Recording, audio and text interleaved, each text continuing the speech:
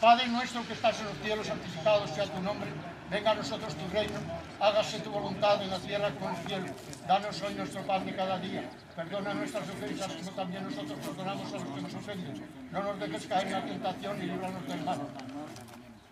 Por todas nuestras obligaciones de vivos y de difuntos y de dificultades y de pruebas y de problemas que tengamos, pensémoslo, que nuestro Señor nos escucha a todos y nos sabe entender, para que Él nos ayude y nos dé fortaleza para ser valientes y demos testimonio de cristianos y de falangistas y de españoles de verdad, con tanta mentira como se vive.